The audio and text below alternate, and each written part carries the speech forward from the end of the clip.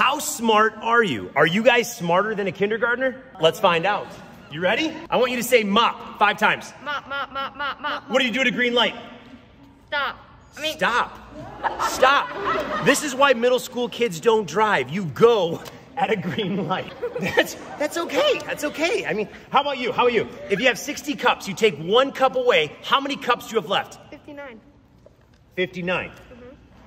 If you have six teacups and you take one away, You have five. you have five teacups.